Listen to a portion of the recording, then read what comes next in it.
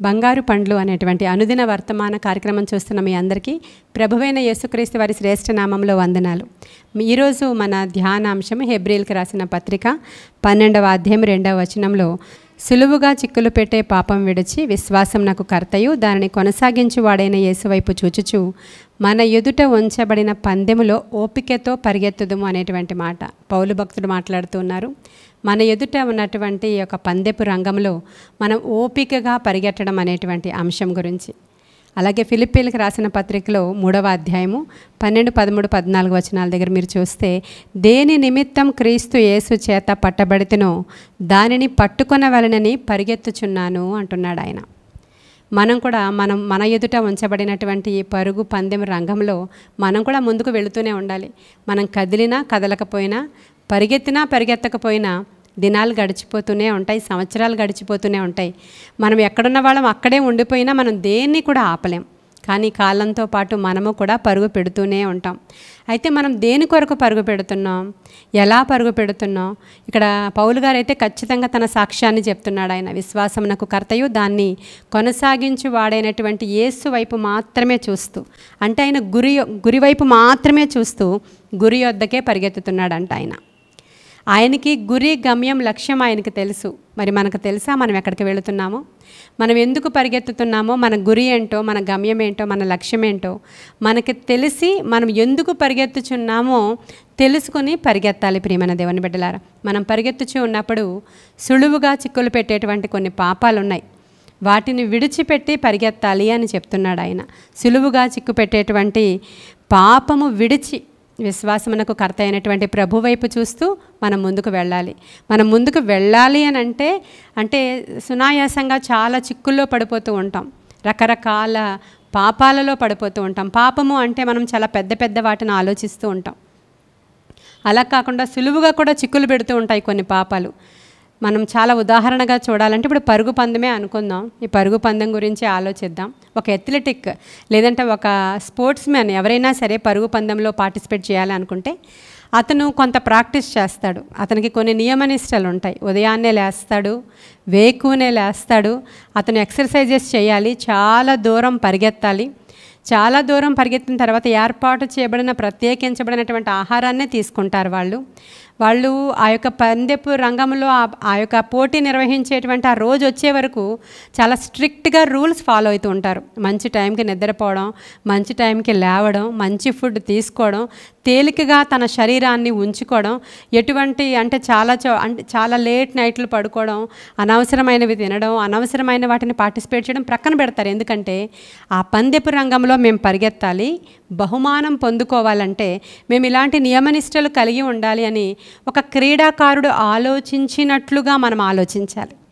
ఎందుకంటే మనం కూడా ఈ రంగంలో ఉన్నాము మనం పరిగెత్తుతున్నప్పుడు అలా గనక క్రీడాకారుడు ఆలోచించకుండా అతని ఇష్టం వచ్చినట్లుగా ఆహారం తిని ఇంకా రేపు పొద్దున రన్నింగ్ రేస్కి వెళతాడు అనగా ఈరోజు అంతా శుభ్రంగా తిండి తిని బిర్యానీ తిని చాలా లావుగా అయిపోయి ప్రతిరోజు కూడా ఫుడ్ రిస్ట్రిక్షన్స్ ఏమీ లేకుండా బాడీకి ఎక్సర్సైజెస్ లేకుండా అతను ఎలా పడితే అలా ప్రవర్తించాడు అనుకోండి ఆ పందెపు రంగానికి అతను పనికిరాడు ఎలాగునో మనము కూడా సులువుగా చిక్కులు పెట్టే పాపాలవే. మనము ఏ విధంగా ప్రవర్తిస్తున్నాము ఏ విధముగా మనము మన యొక్క శరీరాన్ని దేవుని కొరకు సిద్ధపరుచుకుంటున్నాము అన్నిటిలో మితంగా ఉన్నామా లేదంటే అన్ని విషయాలలో మనం పడిపోతున్నామా? మన కళ్ళు ఎలా ఉన్నాయి మన నోరు ఎలా ఉంది మన శరీరం ఎలా ఉంది మనం కరెక్ట్గానే వెళుతున్నామా మన ప్రవర్తన అంతటి అందు కూడా ప్రభు అధికారానికి ఒప్పుకునే వెళుతున్నామా? సులువుగా చిక్కులు పెట్టే ఆ యొక్క తిండిబోతుతనము నిద్రబోతుతనము త్రాగుబోతుతనము మత్తు జోదము ఇటువంటివన్నీ కూడా సులువుగా చిక్కులు పెట్టేటువంటి పాపాలు. అవి పెద్దవి కావు అనిపిస్తాయి. తిండిబోతుతనం పెద్ద పాపమే. పెద్ద పాపం కాదనిపిస్తుంది. నిద్రబోతుతనము పెద్ద పాపమే. నిద్రబోతులు దరిద్రులు అయిపోతారని రాయబడి ఉంది కదండి. తిండిబోతులు కూడా దరిద్రులు అయిపోతారు నిద్రపోతులు సోమరి వాళ్ళు అయిపోతారు అని రాయబడి ఉంది. ఇవన్నీ మనకు తెలీదు. మన ఇష్టం కదా. మనకు ఎంతసేపు పడుకోవాలనిపిస్తుందో. మన సాయంత్రం వరకు నిద్రపోవచ్చు. పొద్దున పది వరకు నిద్రపోవచ్చు. ఇది మన ఇష్టం మనం కష్టపడుతున్నాం అనుకుంటాం. కానీ అది సులువుగా చిక్కులు పెట్టేటువంటి పాపము అని మనకు తెలియదు మన ఇష్టం మన కళ్ళు ఇష్టం వచ్చినట్లు చూడొచ్చు కదా అనుకుంటాం. కాదు అది కూడా సులువుగా చిక్కులు పెట్టే పాపం. దీని గురించే మాట్లాడుతున్నాడు అక్కడ పౌలు. విశ్వాసమునకు కర్త అయినటువంటి ప్రభు వైపు చూస్తూ నా గురి ఏంటో గమ్యం ఏంటో నాకు తెలుసు కాబట్టి ఆ విధంగా నేను పరుగు పెడుతున్నానని. కొంతమంది పరుగు వేరే విధంగా ఉంటుంది. మీరు రాజుల గ్రంథం ఐదవ అధ్యాయంలో చూస్తే గెహజీ అనేటువంటి ఒక వ్యక్తి ఉన్నాడు. ఆయన ఎలీషా శిష్యుడు. ఆయన పరుగు ఎక్కడికో చూడండి ఒకసారి మీరు. ఆయన కూడా పరుగెడుతున్నాడు ఎక్కడికంటే నయమాను అనేటువంటి వ్యక్తి వచ్చి కుష్ఠరోగం బాగు చేసుకుని వెళ్ళిపోతూ ఉన్నప్పుడు కొంత బహుమానం ఎలీషాకి ఇవ్వాలనుకున్నాడు. ఎలీషా ప్రవక్త స్వస్థ పరిచినందుకు బహుమానం తీసుకోలేదు. అయితే ప్రక్కన ఉన్నటువంటి అసిస్టెంట్ ఈయన గెహజీ ఈయనేం చేస్తున్నాడంటే అతను తెచ్చిన వెలగల వస్తువులు దుస్తులు అవన్నీ చూసినప్పుడు ఆశ కలిగింది నయమాను వెళ్ళిపోతూ ఉంటే ఆ రథం వెనుక పరిగెడుతున్నాడండి. పరిగెడుతూ ఆ శపితమైన దాన్ని తెచ్చుకుంటున్నాడు. లేదంటే దొంగ అబద్ధం ఆడి ఆ వస్తువులను తెచ్చుకుని తన గుడారంలో దాచుకున్నప్పుడు ప్రవక్త అంటున్నాడు నీవు వెళ్ళినప్పుడు నా మనసు నీతో కూడా వచ్చింది. నీవి తప్పు చేశావు కాబట్టి నీ తరతరాలకి కూడా కుష్ఠరోగాన్ని దేవుడు శాపంగా ఇస్తున్నాడు అని చెప్తున్నాడు. చూడండి అతను పరుగు ఎక్కడికి పరిగెట్టాడు? అనవసరమైన వ్యర్థమైన వాటిని పట్టుకోవడానికి అది లంచం అనుకోండి లేదంటే అది తనది కానిది ఆశించాడు అనుకోండి లేకపోతే దురాశ అనుకోండి లేదంటే డబ్బు వ్యామోహం అనుకోండి లోకాశ అనుకోండి ఇవన్నీ దాంట్లోనికి వస్తాయి. అతని పరుగు అక్కడికి వెళ్ళింది. అతని పరుగు అతనికి కుష్ఠరోగం తెచ్చింది ప్రియమైన దేవుని బిడ్డ. ఈరోజు నువ్వు దేనికోసం పరిగెడుతున్నావు మరి? సులువుగా చిక్కులు పెట్టేటువంటి పాపాలంటే అవే.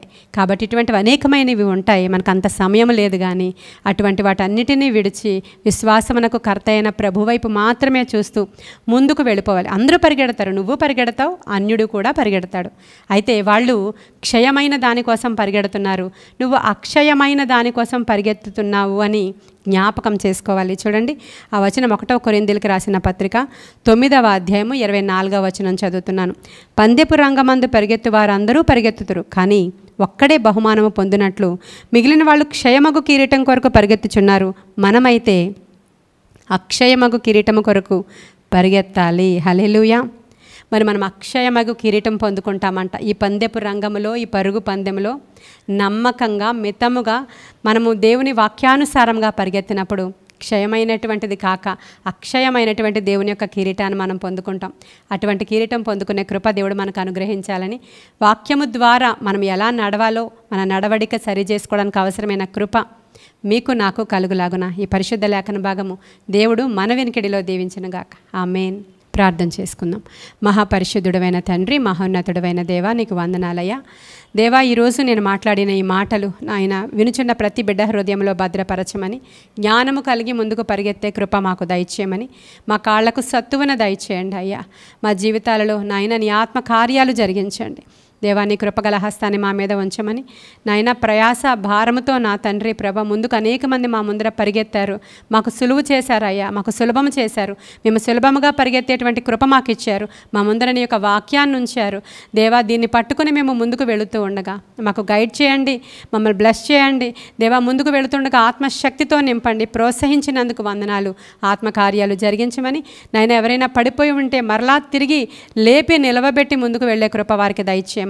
నజరడన ఏసయ నామంలో ఈ దిన దీవెనలతో నింపమని అడిగి వేడుకొనుచున్నాము తండ్రి. Amen amen amen. God bless you.